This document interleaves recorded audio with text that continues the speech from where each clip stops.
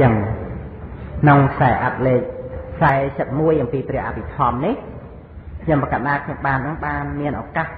ពន្យល់នៅក្នុងរឿងវិថីចិត្តនឹងច្រើនក្នុងខ្សែអត្ថមុនមុនមកគឺថាចូលចិត្តពន្យល់កន្លែងវិថីចិត្តហ្នឹងពីព្រោះកន្លែងហ្នឹងវាជាកន្លែងកិលេសកន្លែងអវិជ្ជាកន្លែងចិត្តថេកន្លែងមានអ្នកកន្លែងចំណែនកំណាញ់អីគឺនៅកន្លែងហ្នឹងណា ឥឡូវហ្នឹងគឺជាការបើកផ្ងាឡើងនៅរបស់ពិតហ្នឹងឲ្យបានឃើញច្បាស់ថាវាធេតុពិតហ្នឹងវាជាយើងជារបស់យើងឬក៏វាជាបរមត្តធម៌ហើយហ្នឹងបើកផ្ងាឲ្យឃើញដោយបញ្ញាចឹងអត់មានអ្នកណាដែលត្រូវជាម្ចាស់សម្បត្តិក្នុងโลกនេះទេទេយើងរៀនទៅណា ដែលត្រូវត្រាស់ដឹងក៏ត្រាស់ដឹងទៅតាមធัวដែលបានរៀនមកទាំងអស់ដូចចក្ខុវិញ្ញាណយើងរៀនមកហើយនៅក្នុងអហេតុកៈចិត្តហ្នឹងចក្ខុវិញ្ញាណដែលជាអកុសលវិបាកចក្ខុវិញ្ញាណហ្នឹងកើតឡើងទទួលផលរបស់បាបកម្មដែលបានធ្វើទុកហើយមានសត្វឯណាមានបកគលឯណាមកទទួលផលរបស់បាបកម្មនឹងទៀតអត់ទេអត់មានទេ គឺចក្ខុវិញ្ញាណហ្នឹងមកហើយបើថាចក្ខុវិញ្ញាណហ្នឹងជាកុសលវិបាកចក្ខុវិញ្ញាណហ្នឹងកើតឡើងទទួលនៅផលរបស់បញ្ញកម្មផលរបស់កុសលកម្មអំពើល្អ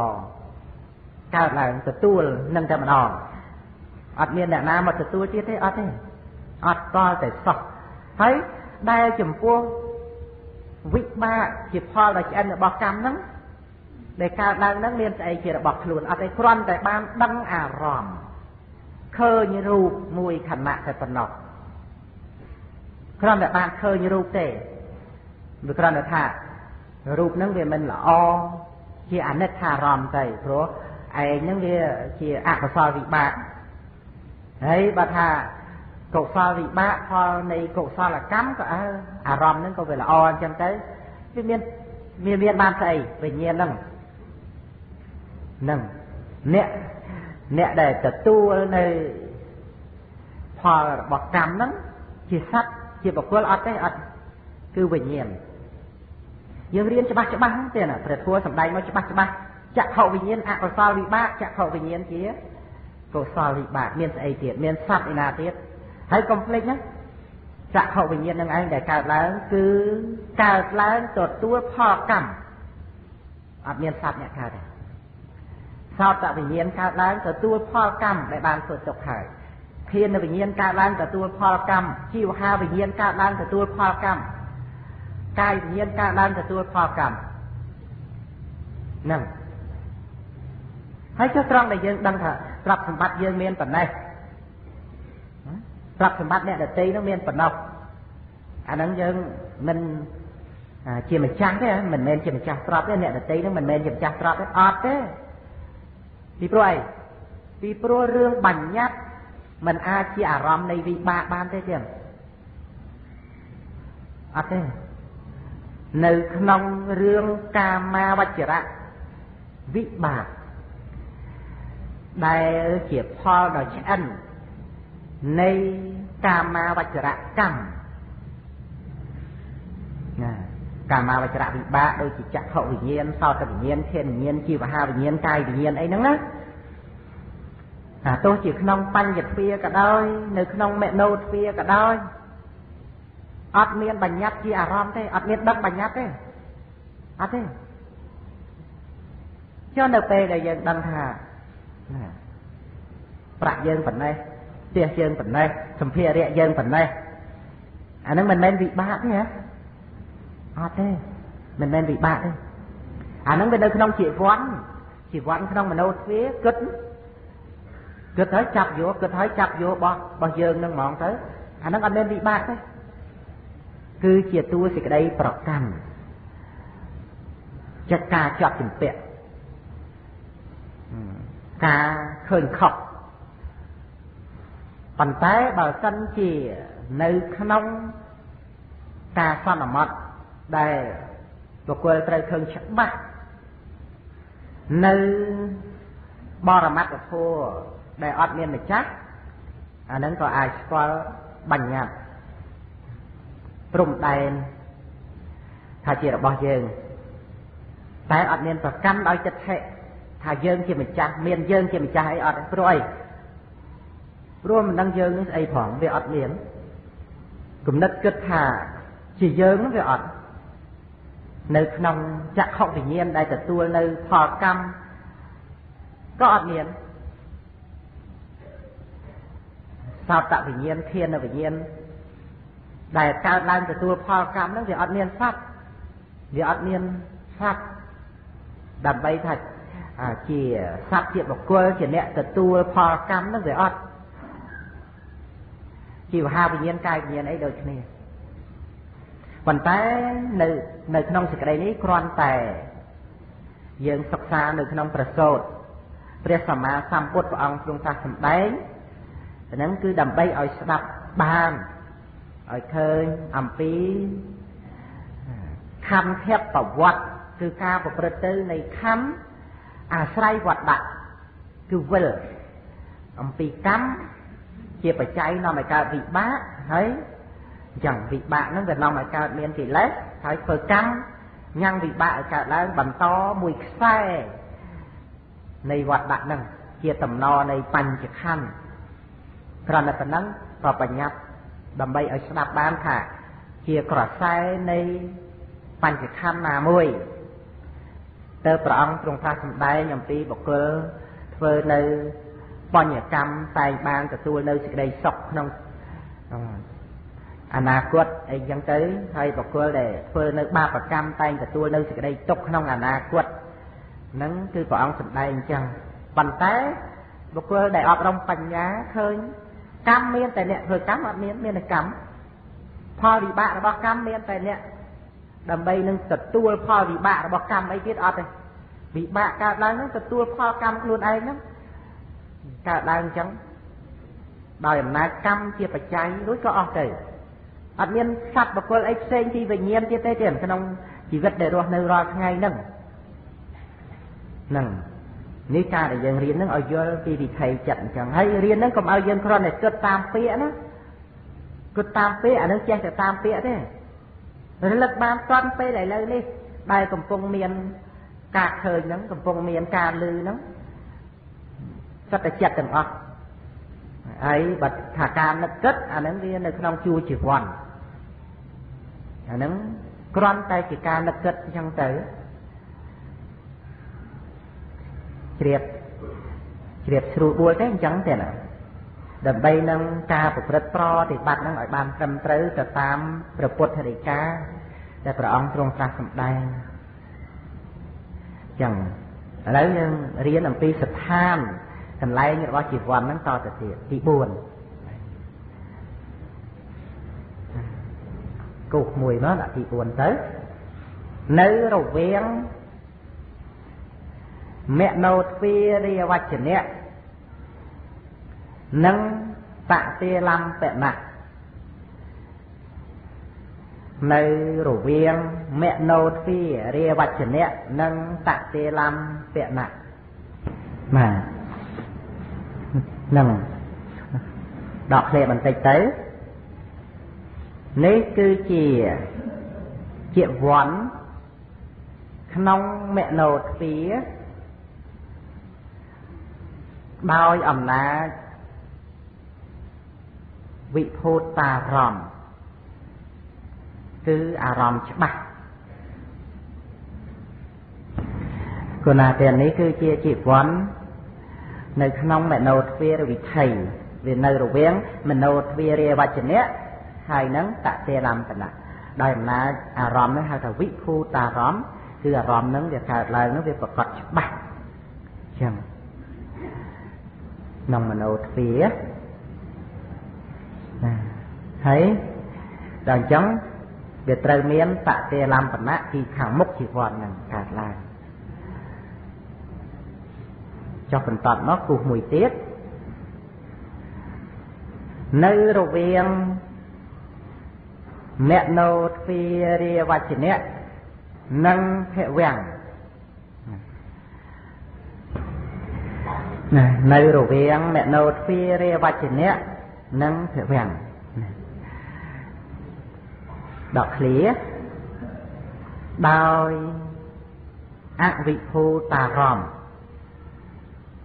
ដោយអវិភូតារម្មណ៍គឺ អារម្មណ៍មិនប្រកបច្បាស់គឺអារម្មណ៍មិនប្រកបច្បាស់មានទេជីវ័នដែលយើងបានសិក្សាមកហ្នឹងមាននៅក្នុងជីវិតយើងរាល់ថ្ងៃទេមានទេវាគ្រាន់តែថានៅពេលដែលត្រេកអរស្រឡាញ់អ្វីអ្វីចឹងទៅក៏មិនមានសតិក៏សម្គាល់ថាយើងទៅ វាបានអប់រំសតិបញ្ញាអីអត់ទេដល់តែមានសតិរលឹកបានវាមានស្អីគឺចិត្តនឹងឯងគ្រាន់តែថាធ្វើជាវណ្ណកិច្ចព្រឹកទៅដើម្បីជាប់ជំពាក់នឹងរបស់នេះរបស់នោះចិត្តនឹងចិត្តមែនទែនសំបីនៅក្នុងជីវ័នហ្នឹងក៏ប្រគុណម្ចាស់ញាតិញោមអត់មានដែរហើយកាលណាបើអត់មានហើយកុំមកនិយាយថាបើអញ្ចឹងនោះ ចិត្តតែបណ្ដោយកិលេសទៅនឹងអ្នកនិយាយហ្នឹងបានត្រឹមតែស្ដាប់ឮប៉ុន្តែអត់យល់កិច្ចប្រតិបត្តិអត់មានចឹងដូច្នេះដែលនិយាយនៅក្នុងសេចក្តីដែលថាលោភៈគ្រាន់តែជាលោភៈជាធម្មៈដោយសេចក្តីថាមិនមែនសត្វមិនមែនបុគ្គលទូខ្លួនទោសៈមោហៈអីក៏អញ្ចឹងគ្រាន់តែជាអកុសលធម៌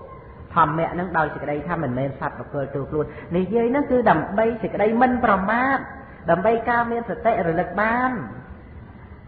អកុសលធម៌អ្នកណាទៅហាមឃាត់កុំឲ្យកើតបានបើមានបច្ច័យត្រូវកើតហើយអ្នកណាហាមឃាត់បានហាមមិនបានទេប៉ុន្តែបើកើតឡើងហើយឃើញទេក៏មិនក៏បីមានសេចក្តីប្រមាទពាក្យថាមិនក៏បីមានសេចក្តីប្រមាទគឺមានសតិរលឹកបាន រលឹករលឹកឃើញច្បាស់នៅលោភៈជីវ័នទោសៈជីវ័នមោហៈជីវ័នហ្នឹងដឹងច្បាស់ចឹងទៅក៏មិនប្រកាន់ថាជាសត្វអត់មាន នៅក្នុងជីវិតនៃចិត្តនឹងសត្វអត់មានគ្រប់ពេលវេលានៃជីវិតរស់នៅលោកភៈក្នុងទីណា ក្នុងផ្សារក្នុងផ្ទះក្នុងព្រៃទោសៈមោហៈក្នុងទីណា តែកាលដែលបរមត្តធัวនឹងប្រកាសឡើង គឺនៅក្នុងលោកនៃគុណិតប្រព្រឹត្តទៅរោគអារម្មណ៍ជារូបជាសម្លេង ជាក្លិនជារសជាថតថពៈជាធម្មមានអារម្មណ៍ចឹងអត់មានផ្ទះសំបែងអត់មានទីកន្លែងអត់មានព្រៃភ្នំ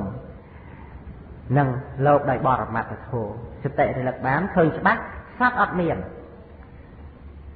នេះមិនមែនជាការបណ្ដោយឲ្យអកុសលធម៌កើតទេចឹងទេណារឿងរបស់បញ្ញាគឺទប់ទល់ជាមួយនឹងឧបាយកលរបស់កិលេសកិលេសហ្នឹងវាបញ្ឆោតវាបញ្ឆោតសត្វលោកដែលងងខ្លៅហ្នឹងចាញ់ការបោកបញ្ឆោតរបស់កិលេសខំមានសេចក្តីទប់ទល់ដោយអំណាចការមិនដឹងណា ចិត្តថាកិលេសនឹងបោះបោះអញអញ្ចឹងទៅកិលេសនឹងជាខ្លួនអញអញ្ចឹងទៅហើយក៏ខំរកឧបាយកលផ្សេងផ្សេងដើម្បីលះកិលេសរបស់ខ្លួនទៅអាហ្នឹងចាញ់ការបោកប្រាស់របស់កិលេសតាមពិតកិលេសហ្នឹងវាកើតឡើងហ្នឹងវាគ្រាន់តែបញ្ឆោតបញ្ឆោតទេទោះជាយើងទៅធ្វើម៉េចក៏វាមិនស្លាប់ទៀតដែរឲ្យតែនៅតែប្រកាន់ថាជារបស់យើងគឺមិនចេះស្លាប់ទេអានោះវាមានអនុស័យទេ វាកើតឡើងរឿយរឿយអញ្ចឹងបានជាសង្សារវត្តនេះវាមិនចេះអស់កិលេសសោះធ្វើបន់ប៉ុណ្ណាក៏មិនអស់ប៉ុន្តែដល់ទីបំផុតឧបនិស្ស័យនៃបនកសលនឹងជំរុញមកផងបានស្ដាប់ធัวព្រះសម្មាសម្ពុទ្ធរឿយរឿយអប់រំវិបស្សនាផ្ដើមលះសកាយតិថិចឹងទៅអកុសលនឹងឈប់បោកប្រាស់បានឈប់បោកប្រាស់បាន ឃើញច្បាស់លោភៈជាប់ជំពាក់ក្នុងរូបសម្លេងក្លិនរសផតថាពៈនិងធម្មមេរម្មលោភៈទេតើដែលដែលជាប់ជំពាក់ដែលត្រូវការរបស់នឹងយើងអត់មានចូលរួមជាមួយគ្នានឹងលោភៈដើម្បីថាបានរូបបានសម្លេងអីអត់ទេអត់មានចូលរួមទេដល់អញ្ចឹងទៅលោភៈហ្នឹងវាឈប់បោកបានណាលោភៈហ្នឹងថារូបល្អល្អតែឯងទៅឆ្លាញ់តែឯងទៅ យើងមិនបានទៅត្រេកអរជាមួយលោភៈហ្នឹងលោភៈថាសម្លេងព្រោះហើយព្រោះព្រោះតែឯងទៅលោភៈឯងក្លិនរសផាត់ខាប់ទេអីលោភៈឯងនឹងនឹងនឹងឃើញលោភៈដោយបញ្ញាមិនប្រកម្មថាលោភៈនឹងជាយើងលោភៈឯងត្រេកអរតែឯងទៅអាហ្នឹងគឺបានដីថា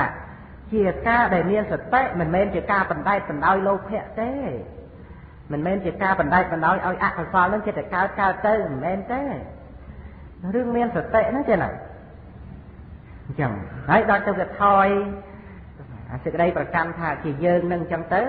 លោភៈហ្នឹងវាបោកយើងអត់បានវាអស់កម្លាំងទេវាអត់មានកម្លាំងពីព្រោះអត់មានសក្កាយតិដ្ឋិអត់មានសេចក្តីប្រកាន់ថាលោភៈហ្នឹងជាសត្វជាបុគ្គលជាទូខ្លួនទោសៈមោហៈហ្នឹងក៏អញ្ចឹងដែរកាលណាបើឃើញថាទោសៈគ្រាន់តែជាសភាវៈធัวគឺគ្រាន់តែជាចិត្តធ្វើជាវណ្ណកិច្ចអាហ្នឹងទោសៈទៅ វាអត់មានរឿងអីដែលជាប្រយោជន៍សម្រាប់ខ្លួនយើងក្នុងខឹងហ្នឹងពីព្រោះអីពីព្រោះខឹងហ្នឹងវាអត់មែនជាសត្វវាអត់មែនជាបុគ្គលយើងវាអត់វាអត់មានប្រយោជន៍អីដើម្បីបានពីខឹងហ្នឹងមកចឹងដូច្នេះក្នុងជីវិតដែលប្រព្រឹត្តទៅនេះត្រូវឃើញច្បាស់នៅរបស់ពិតទាំងអស់ហ្នឹងនៅក្នុងអកុសលធម៌ហ្នឹងប្រទៅនៅក្នុងជួរជីវ័ន មានតាមផ្លូវភ្នែកឬផ្លូវតិចផ្លូវច្រមុះឬផ្លូវណាផ្លូវកាយឬផ្លូវចិត្តយើងអាចដឹងបានតាមរយៈអារម្មណ៍ដឹងថានេះតាមផ្លូវភ្នែកមកពីមានរូបហើយតាមផ្លូវតិចថាមកមានសម្លេងអាហ្នឹងវាត្រូវមានវិថីចិត្តគូគូនឹងគ្នាមានតាមចក្ខុទ្វេរវិថីមនោទ្វេរវិថីបើថាសម្លេងនាំឲ្យកើតជីវ័នតាមសោតទ្វា ហើយកើតជីវ័នតាមមនោទ្វាទៀតបើថាក្លិនវានាំឲ្យកើតជីវ័ននឹងតាមទ្វាច្រមុះហើយទៅកើតតាមមនោទ្វាទៀតបើរស់វាឲ្យកើតជីវ័ននឹងតាមទ្វាអនាតកើតតាមមនោទ្វាទៀតផតថពៈវានាំឲ្យកើតជីវ័ននឹងតាមទ្វាកាយហើយកើតតាមមនោទ្វាទៀតហើយវាមានជីវ័ននៅក្នុងមនោទ្វាសតទៀតចឹងរាល់ពេលវេលាទាំងអស់ក្នុងពេលនេះមានទេមានជីវ័នទេញាតិញោមមានទេ បាទចង់ស្មារតីដោយចំពោះសេចក្តីដឹងខ្លួនក្នុងពេលនេះគឺមិនមែនញាតិញោមនឹងហើយគឺជាសភាវៈដែលត្រូវកំណត់ដឹងហ្នឹងរឿយរឿយនៅពេលដែលមានការជួបប្រទះនៅរឿងរ៉ាវផ្សេងផ្សេងតាមរយៈរូបសម្លេងឬក្លិនឬរសឬផតពៈនៅក្នុងពេលនោះមានសតិរលឹកបានសភាពនៃវិថីចិត្តដែលប្រព្រឹត្តទៅធ្វើកិច្ចផ្សេងផ្សេង គុណចាស់ញាតិញោមនឹងធ្លាប់យល់ព្រមហើយថាប្រគល់កិច្ចទាំងអស់នឹងឲ្យទៅចិត្តគុណចាស់ញាតិញោមសុខចិត្តរួចផុតអំពីកិច្ចរបស់ចិត្តទាំងអស់ហ្នឹងអាហ្នឹងគឺអត់เตรียมទេអ្វីអ្វីនៅក្នុងโลกនេះទេផុតទុកនៅកន្លែងហ្នឹងណាទេណាតាមពិតទៅទោះជានៅសម្គាល់ថាជារបស់ខ្លួនដោយសេចក្តីអាល័យដោយការស្ដាយក៏នៅតែមិនមែនរបស់ខ្លួនតែដែរ គ្រាន់តែជាការយល់ច្រឡំឃើញនៅសង្ខារធัวដូចជាចិត្តវិញ្ញាណអីហ្នឹងថាជាខ្លួនអញ្ចឹងទៅហើយក៏ប្រកាន់នៅអារម្មណ៍របស់ខ្លួនហ្នឹងថាជារបស់ទៀងថាជារបស់សពថាជារបស់ខ្លួនតាមពិតទាំងវិញ្ញាណដែលដឹងនៅអារម្មណ៍ក៏រលត់ទៅសត្វបុគ្គលអត់មាននៅទេសត្វបុគ្គលក្រៅពីវិញ្ញាណហ្នឹងគឺអត់មានទៀតទេទាំងវិញ្ញាណហ្នឹងក៏មិនមែនជាសត្វ ហើយការសោយអារម្មណ៍អីយ៉ាងណាយ៉ាងណាបើអត់មានវិញ្ញាណវាអត់មានសោយអារម្មណ៍កើតទេទៀតរាល់ថ្ងៃហ្នឹងឲ្យតែឧស្សាហ៍មានស្មារតីរឿយរឿយសំបីនៅពេលមានតោមម្ដោះសោយអារម្មណ៍តោមម្ដោះអាំងថ្នាំងថ្នាក់អអន់ចិត្តហ្នឹងការសោយអារម្មណ៍ជាតោមម្ដោះហ្នឹងក៏ឃើញច្បាស់ថាវាអត់មានស្ត្រីអត់មានបរោះយើងគេអីអត់នឹងគឺជាប្រភេទនៃវេទនារាល់ថ្ងៃមានតោមម្ដោះនឹងកូននឹងចៅនឹងអ្នកចិត្តខាងទេមានទេ មានការសោយអារម្មណ៍ចង្អៀតចង្អល់នឹងរឿងស្អីស្អីដូចជា ក្តៅពេកត្រជាក់ពេកឬសោយអារម្មណ៍នឹងដាក់អីទៅបាត់រួមឃើញមានទេមានសោយអារម្មណ៍ចង្អៀតចង្អល់ខ្វល់ទេនឹកឃើញរយសភៅនេះនឹងនៅណាទេអារបស់ដែលត្រូវរួនរួនមិនឃើញអាបើអត់រួនឃើញខ្សែអាប់នឹងក៏ដោយអាចង់រួននោះរួនងាយឃើញហើយចង្អៀតចង្អល់ការសោយអារម្មណ៍នោះវាអត់មានយើងទេអត់មានសត្វទេគឺតោមនស្សវេទនា ហើយការសោយអារម្មណ៍រីករាយសប្បាយហ្នឹងក៏មានសតិរលឹកបានអត់មានសត្វការសោយអារម្មណ៍ហ្នឹងអត់មានជាទូខ្លួនប្រគុណម្ចាស់ឬញាតិញោមទេការសោយអារម្មណ៍គ្រប់ពេលវេលាទាំងអស់ហ្នឹងហើយបើការសោយអារម្មណ៍នឹងរលត់ទៅវិញ្ញាណរលត់អស់ដែរមាននៅដឹងខ្លួនថាយើងឯណាទៀត ដែលជាអ្នកទទួលនៅវេទនាជាសុខឬវេទនាជាទុក្ខឬវេទនាមិនសុខមិនទុក្ខនោះវាអត់មានយើងអីផ្សេងពីវេទនានឹងទៀតទេវេទនាដែលសោយអារម្មណ៍ហ្នឹងហើយវេទនាដែលសោយអារម្មណ៍ហ្នឹងវាមានវេទនាណាមួយជាសត្វជាទូខ្លួនមានសុខវេទនាមានទុក្ខវេទនាមានអទុក្ខមសុខវេទនាមានសោមនស្សវេទនាមានទោមនស្សវេទនាផ្សេងផ្សេងគ្នារាល់ថ្ងៃហ្នឹង ដូច្នេះការតាំងនៅក្នុងស្ដេចឋានបរិបត្តិការតាំងនៅក្នុងស្មារតីដើម្បីមិនមានខ្លួនក្នុងលោកការដែលមិនមានខ្លួនក្នុងលោកទៅកើតទីនេះទៅកើតទីនោះការដែលមិនមានខ្លួននឹងឯងស្លាប់ទៅសូន្យគឺការដែលខ្លួនយើងនឹងបានដល់នៅព្រះនិព្វានបានដល់នៅនិរោធពាក្យថាខ្លួនយើងបានដល់នៅព្រះនិព្វានហ្នឹងគឺរំលត់សេចក្តីប្រកាន់ថាខ្លួនយើងហ្នឹងហ្នឹងហើយដែលខ្លួនយើងដល់និរោធគឺអត់មានខ្លួនយើងហ្នឹងតែកើតទៀតឯណាទេអត់មានទេដល់និរោធហ្នឹងតែម្ដង គឺព្រះនិព្វានហើយដល់និរោធនឹងដល់ដោយអរិយមគ្គអង្គ8ហ្នឹងទៅតាមផ្លូវហ្នឹងទៅដល់និរោធនឹងព្រឹបតែម្ដងព្រះនិព្វាននៅចិត្តណាស់ទៀតសន្តិគេព្រះនិព្វាននឹងមានពិតគឺនៅត្រង់ការរំលត់បញ្ញខណ្ឌខ្លួនយើងនឹងតែម្ដងបានដល់ថានិរោធហ្នឹងគឺអត់មានបញ្ញខណ្ឌយើងនេះទេហើយកាលណាបើយើងចេញពីបញ្ញខណ្ឌនេះហើយវាដល់និរោធហ្នឹងហើយ ដល់ការរំលត់នឹងហើយវាអត់មានបញ្ញខណ្ឌទេក្នុងនិរោធនឹងស្ងប់ប្រណិតអត់មានសោយអារម្មណ៍ចឹងអាគុកមួយទៀតមកណាទី6នៅរវាងមនោទ្វារាវចនៈនិងចុតិនៅរវាងមនោទ្វារាវចនៈនិងចុតិ ដកឃ្លានេះគឺជាមរណាសនជីវ័ននេះគឺជាមរណាសនជីវ័នក្នុងមโนទ្វានេះគឺជាមរណាសនជីវ័នក្នុងមโนទ្វាដកឃ្លាបន្តិចទៀត ចតិមុខជាវ័នចតិមុខជាវ័ននឹងឃើញប្រវាំងកិស្ថាននឹងមាន6ទេមានទេគ្រប់ហើយនៅចតិទៅមាននៅសល់ទេវិថីចិត្តនឹងមានទេទៅណាអស់ទៅណារលត់ទៀតប៉ុណ្ណារលត់អស់ទៅ ចឹងយើងបានស្ដាប់បានសិក្សារៀនសូត្រមកឃើញថាហើយស្លាប់ទៅវាអត់មានអីនៅសល់ជារបស់យើងទេមែនទេបាទស្លាប់ទៅវាអត់មាននៅសល់អីជារបស់យើងមែនមែនទេណាអ្វីអ្វីដែលនៅមានសពថ្ងៃនេះនៅជារបស់យើងទៀតទេបើស្លាប់ទៅចំណុចយើងឥឡូវហ្នឹង មិនជារបស់យើងឲ្យហើយទៅណាមិនជារបស់យើងឲ្យហើយទៅចាំបាច់តតែស្លាប់មិនក៏នៅជារបស់យើងបើមិនជារបស់យើងបានណាចាប់ពីសោតាទៅព្រះអរហន្តបានណាសោតាឬសក្តិឬអនាគាឬអរហន្ត មគ្គផលនឹងត្រូវដល់ព្រមបើមិនជារបស់យើង ដោយគ្រាន់តែមានមរណសតិជាបតតឋានជាបាបជាគ្រឿងទ្រមរណសតិជាគ្រឿងទ្រនៅពេលដែលយើងស្លាប់ទៅឃើញណាដូចយើងរៀនអំពីស្ថានរបស់ជីវ័នអញ្ចឹងវាមានចុតិមុខជីវ័នជីវ័នតាមបញ្ញទ្វាឬជីវ័នក្នុងមโนទ្វាអត់មានសល់ បញ្ចខណ្ឌគឺរូបវេទនាសញ្ញាសង្ខារវិញ្ញាណតាមផ្លូវភ្នែកផ្លូវវិជ្ជាផ្លូវច្រមុះផ្លូវណាផ្លូវកាយនិងផ្លូវចិត្តដែលតជាប់គ្នាឲ្យរដឹកក្នុងជីវិតរស់នៅត្រូវតែមិនមានអស់រលីងអត់មានដើម្បីនឹងជារបស់យើងទេត្រូវចោលទាំងអស់ចឹងហើយតាមណាបើជាវ័ននៅក្នុងទ្វារទាំង6ហ្នឹងក៏អស់រលីងហើយ មានស្អីជារបស់យើងទៀតទេបើជីវិតហ្នឹងវាអត់មានមានទេ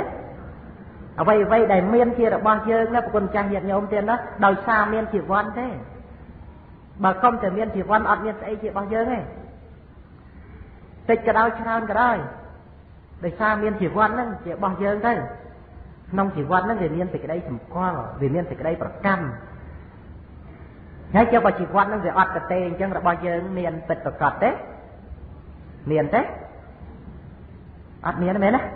បាទដោយសារមានជីវ័នទេតាហើយចុះបើជីវ័ននឹងអត់មានទៅហើយនៅរបស់យើងអីទៀតក្នុងលោកនេះនឹងប៉ុន្តែឥឡូវនេះជីវ័ននឹងជាយើងទេដែលមានសពថ្ងៃកំពុងនឹកគិតនឹងអ្វីអ្វីនឹងជីវ័ននឹងជាយើងទេឬគ្រាន់តែជាជីវ័នចិត្ត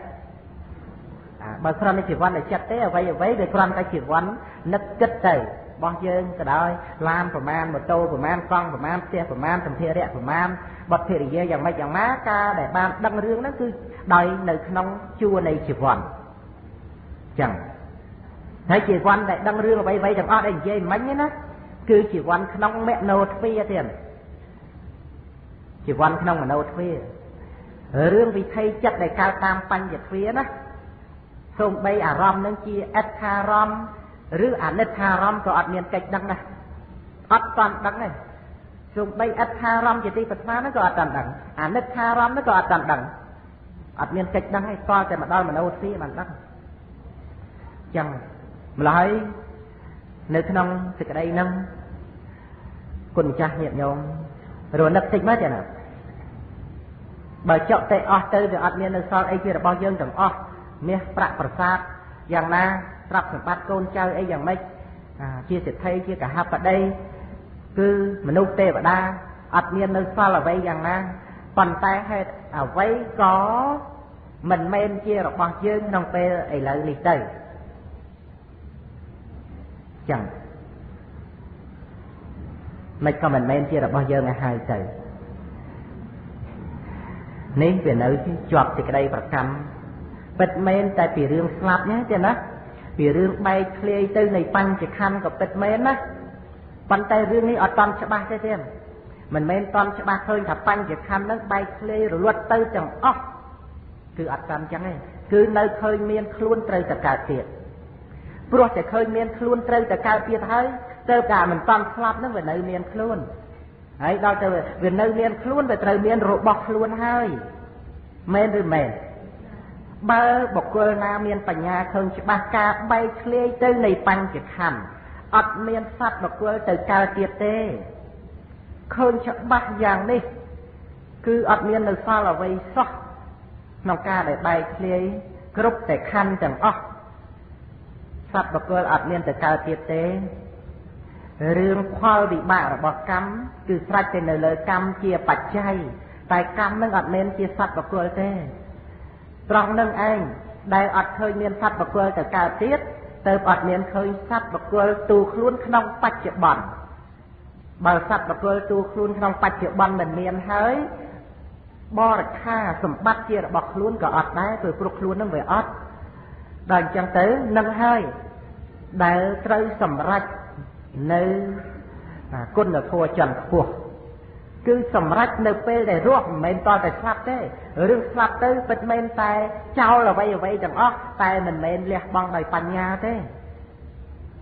មិនមែនលះបង់ដោយបញ្ញាណានេះវាគ្រាន់តែថាត្រូវស្លាប់ត្រូវស្លាប់ចោល